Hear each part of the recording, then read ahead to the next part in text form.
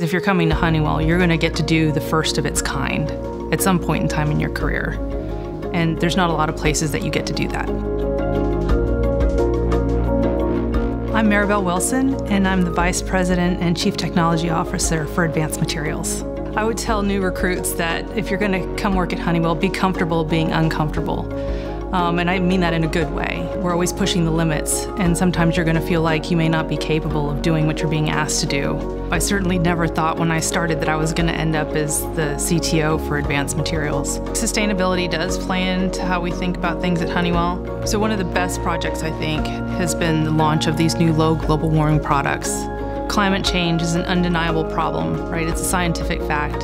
You know, making your day-to-day choices are, are great, but this is a huge impact that you can have if you work at Honeywell. As the leader of a technology organization, we're always thinking about the future. Products that we've launched in the past few years is like taking 33 million cars off of the road.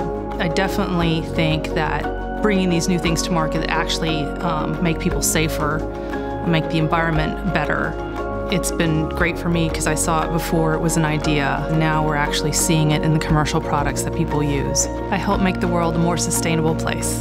I am a future shaper.